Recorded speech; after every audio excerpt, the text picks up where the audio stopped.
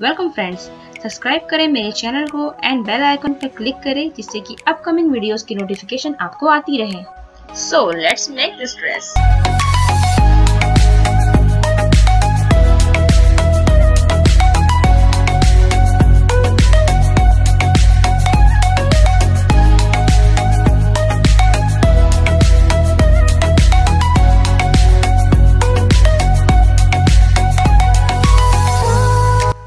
okay तो work start करते हैं। इस ड्रेस को बनाने के लिए हम यहाँ पे एक साड़ी लेंगे।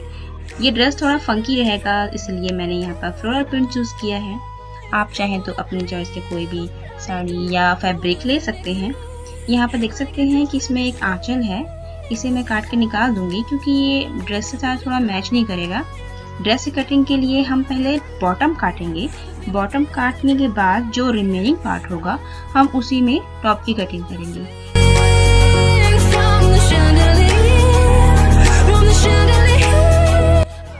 ड्रेस के बॉटम की कटिंग के लिए हम साड़ी को टू फोल्ड्स करेंगे, जिससे कि 90 डिग्री एंगल का दिखाई देगा बट आप इसे कटिंग करने के बाद ये फुल सर्कल 180 डिग्री का दिखाई देगा।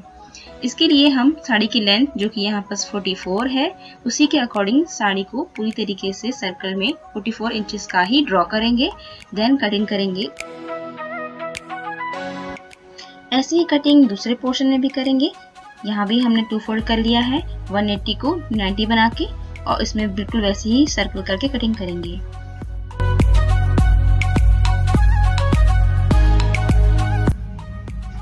अब हम बिल्कुल इसी स्टेप्स को फॉलो करके अस्तर की भी कटिंग कर लेंगे.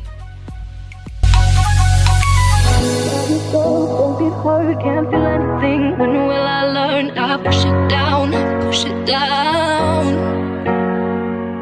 I'm one for a good time call, phone's blowing up, ringing my doorbell. I feel the love, feel the love. अब अस्तर के फैब्रिक और मेन फैब्रिक को पिन से जॉइंट करके मशीन से इसकी सिलाई कर लेंगे इन दैट वे हम बॉटम को पहले से प्रिपेयर करके रख लेंगे देन टॉप की कटिंग करेंगे ओके तो अब हम सबसे पहले ड्रेस का टॉप बनाएँगे, जो कि यहाँ पर बहुत ज़्यादा डिफ़िकल्ट नहीं है, लेकिन सबसे अलग है। यही इसमें डिफरेंट चीज़ है। बाकी बॉटम तो आप पहले के वीडियो में देख चुके हैं कि कैसा रहता है। इसके लिए हम पेपर को टू फोल्ड्स करेंगे और ऊपर से यहाँ डेढ़ इंच मार्क कर लेंगे, क्योंकि इसका जो नेक है, वो हल्टर नेक होगा। साथ ही ये ऑफ़ शोल्डर भी होगा। इसीलिए यहाँ पर ऊपर से हम दो से थोड़ा ज़्यादा लेंगे नेक हॉल के लिए। इस टॉप का आर्म होल नेक के कॉलर से ज्वाइंट रहेगा, जैसा कि आपने पहले वीडियो में देखा हुआ है। एंड ऊपर से इसमें एक फ्रिल ऐड होगा। ऐसे नेकलाइन और शोल्डर पैटर्न आप किसी छोटी ड्रेस के लिए या टॉप के लिए भी यूज़ कर सकते हैं। अब हम इसका आर्म होल वाला हिस्सा बनाएँगे। इसके लिए कॉलर के मेड से पाँच इंचेस नीचे ड्रॉ करेंगे, जिसकी सिधाई हमें आर्म होल के जस्ट नीचे भी मिलती है। यहाँ पर एक पेंसिल सेम भी होगी। जो मैं बताऊँगी आपको आगे, और आप पहले भी देख चुके हैं इसे। इस 5 इंचेस मार्क से मैं यहाँ पर सिधाई पे 10 इंचेस मार्क लूँगी। देन इसी मार्क से हम फिर से 7 इंचेस लेंगे, जिससे कि आर्म होल बन सके। अब इस तरीके से यहाँ पर नेक से इसे जॉइंट कर लेंगे। देन इसे 10 वाले मार्क से भी जॉइंट कर लेंगे। इससे आपको साफ़ साफ़ दिखाई देगा कि आर्म मोड है, जिसमें आपका ये शोल्डर पूरा ओपन रहेगा। ओके, अब हम इस आर्म होल या आप इसे शोल्डर होल भी कह सकते हैं। आप उसमें अब प्रिंसेस सिम बनाएँगे, जो कि मैंने आपको पहले की वीडियो में ही बताया हुआ है कि प्रिंसेस कट कैसे की जाती है। एक्चुअल में इसका जो टॉप है, वो फ्रिल से नहीं दिखेगा तो आप चाहें तो प्रिंसेस कट बना भी सकते हैं टॉप में और विदाउट सिंपल भी बना सकते हैं। ठीक है? लेकिन मैं यहाँ बता दे रही हूँ आपको प्रिंसेस कट लेने के लिए। मैं यहाँ पर मिड में इसे ड्रॉ करूँगी। इस मार्क से एक कर्व बनाएँगे। इस मार्क से अब हम यहाँ पर प्रिंसेस सिम ड्रॉ करेंगे जो कि आप पहले देख चुके हैं। मैं यहाँ पर आई बटन में आपको पहले की लिंक डाल दूँगी। आप उसमें देख सकते हैं। बाकी आप इसमें से फॉलो करके भी देख सकते हैं।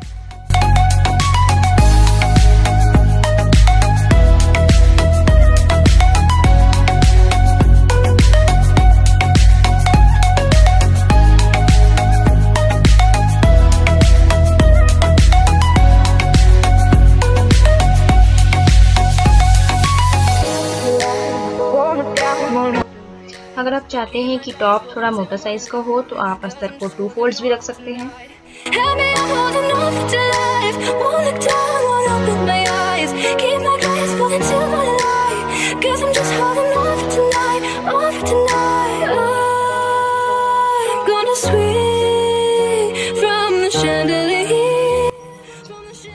ड्रेस की बॉटम की कटिंग के बाद जो रिमेनिंग क्लॉथ बचा था अब उसी में हम टॉप कटिंग करेंगे। इसी को रख के आप टॉप कटिंग कर सकते हैं। इसके लिए I am gonna use some pin pin से इसे स्टिक कर लेंगे जिससे ये मूव ना करे। बिकॉज़ ये जॉर्जेट कपड़ा है तो बहुत ही मूव करता है।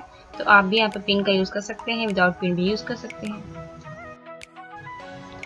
अब यहाँ पर टॉप कटिंग हो चुकी है। इसमें अस्तर और मेन कपड़ा दोनों ही हैं। अब इसे सिंपली ज्वाइंट कर लेंगे। तो ये रहा आपका टॉप इजी है ना? बहुत ही ईजी है आप फॉलो करते जाएँगे और बना सकते हैं इसे। अब हम बैक की कटिंग करेंगे। बैक की कटिंग का मेज़रमेंट भी यही रहेगा। इसके लिए हम फिर से हम पेपर लेंगे और उसमें ड्रॉ करेंगे। पेपर पे बस फ्रंट की कटिंग को रख के इसकी आउटलाइंस को ड्रॉ कर लेंगे। बीच के प्रिंसेस सेम को इसमें ड्रॉ करने की ज़रूरत नहीं है। I'm the one for a good time, call phones blowing up, ringing my doorbell. I feel the love, feel the love. अब पहले की तरह ही कपड़े को भी इसी मेज़रमेंट के अकॉर्डिंग काट लेंगे। बस इसमें बैक में जो प्लेट चलेगी वो आप इसे कट करने के बाद भी डाल सकते हैं।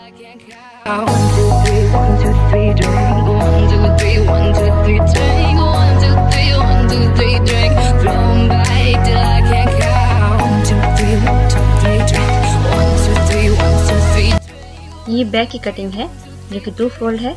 यहाँ पर हम मार्क करेंगे, बीच में। और नीचे में भी एक इंच या डेढ़ इंच का मार्क करेंगे, जैसे आपको फिटिंग चाहिए। और इसे ऊपर वाले मार्क से मिला देंगे।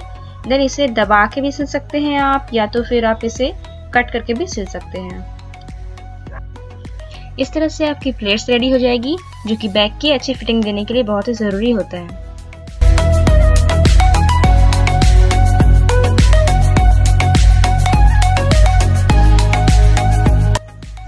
अब बैग की दोनों पीसेस रेडी हो चुकी है।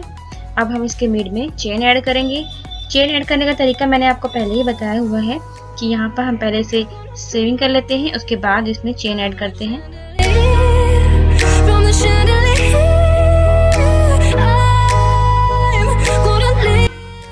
अब आगे और पीछे दोनों ही हिस्से को आपस में जोड़ लेंगे।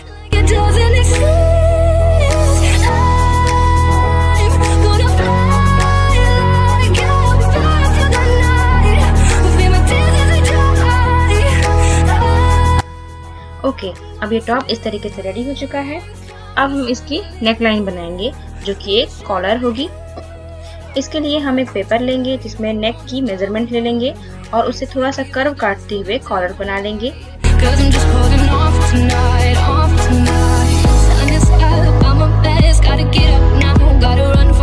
Here comes the shame,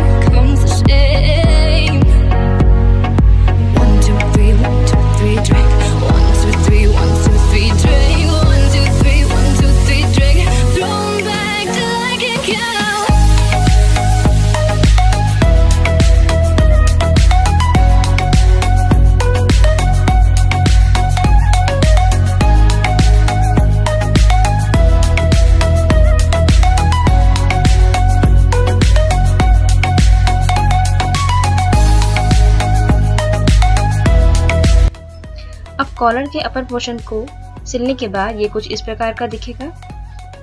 अब इसे टर्न कर लेंगे और आयरन की हेल्प से इसे आयरन कर लेंगे जिससे ये फ्लैट हो जाए और सिलने में थोड़ी हेल्प हो और इससे इसकी फिनिशिंग भी बहुत ही अच्छी दिखाई देगी। Keep my guys holding till morning light Cause I'm just holding on for tonight. Help me, I'm holding on for tonight. अब इस रेडी हो चुके कॉलर को हम टॉप की नेक में ऐड करेंगे।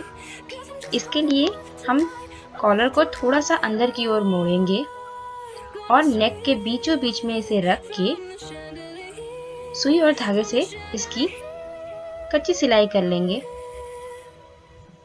देन मशीन से सीविंग करके इसे स्ट्रॉन्ग कर लेंगे। इस काम को आपको बहुत ही केयरफुली करना है बिकॉज़ फैब्रिक बहुत ही स्लिपरी है।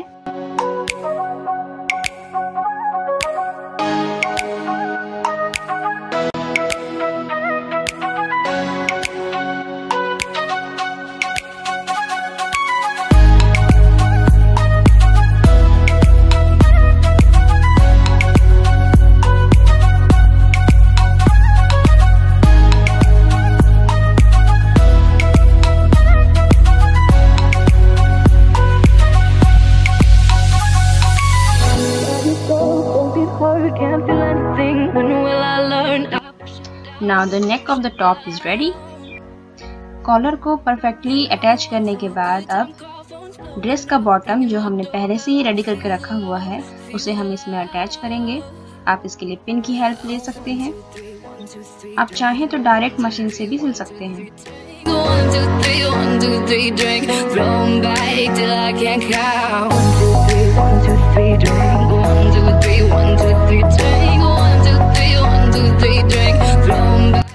अब टॉप बॉटम से परफेक्टली अटैच हो चुका है। आपको अब ये ड्रेस का लुक दिखाई दे रहा होगा। अब इसमें हम चेन ऐड करेंगे। इसके लिए थोड़ा सा बॉटम के हिस्से में हम स्लिट लगाएँगे। देन इसे चेन को इसमें ऐड करेंगे। पूरी तरीके से आप पहले भी देख चुके होंगे। ऐसे इस तरीके से चेन मैंने पहले भी अटैच किया हुआ है।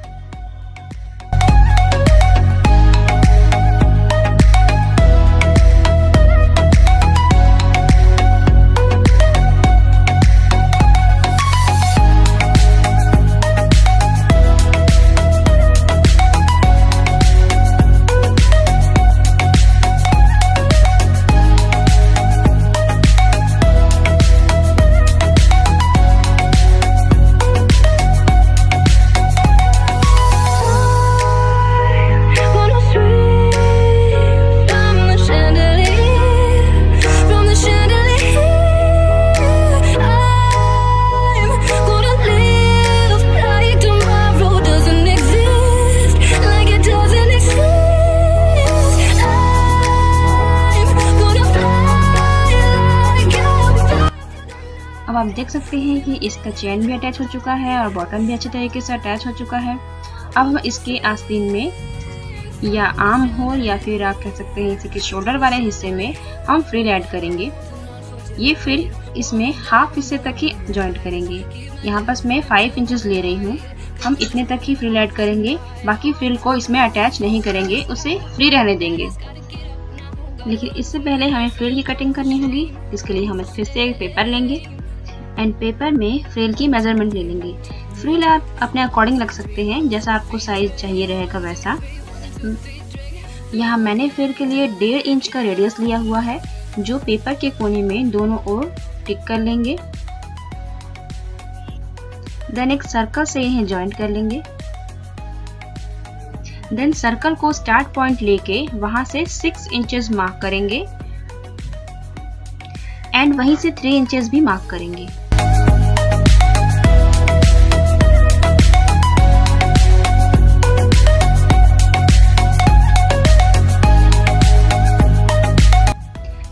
पेपर के फोर फोल्ड्स हैं सो ये ओपन करने पे कुछ इस प्रकार का दिखाई देगा।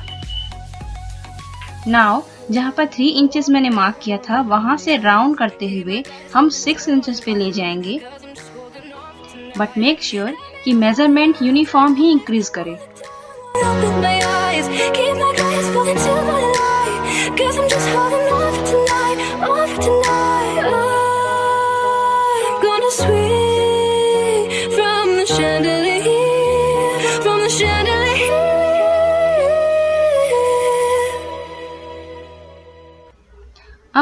फ्रिल का मेज़रमेंट रेडी हो चुका है। अब इसे मेन कपड़े में रख के मार्क कर लेंगे और कटिंग कर लेंगे। जो छोटा हिस्सा है, वो फ्रिल का ऊपर का हिस्सा है और जो राउंड बड़ा हिस्सा है, वो नीचे का हिस्सा है।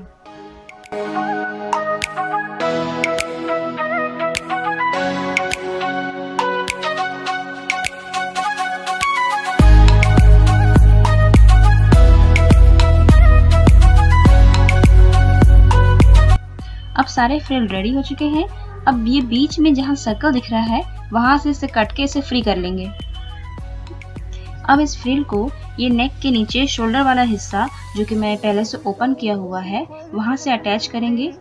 मेक श्योर sure कि इसे हम 5 इंचेस तक ही अटैच रखेंगे, बाकी का हिस्सा पूरा फ्री रखेंगे। I'm the one for good time. जहाँ पर फ्रिल अटैच किया गया है उस हिस्से को आप राउंड करके उसमें तुरपाई कर लेंगे उसकी एजेस को सिक्योर कर लेंगे। अगर आपकी फिनिशिंग अच्छी है तो आप इसे डायरेक्ट मशीन से भी कर सकते हैं।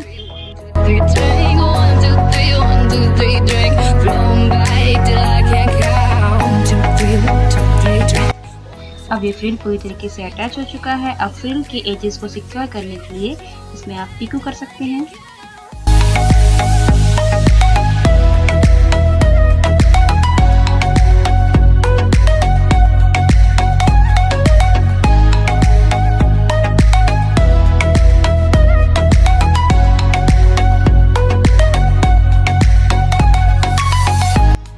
सबसे लास्ट स्टेप बॉटम की एजेस को पीकू से सिक्योर कर लेंगे and enjoy the dress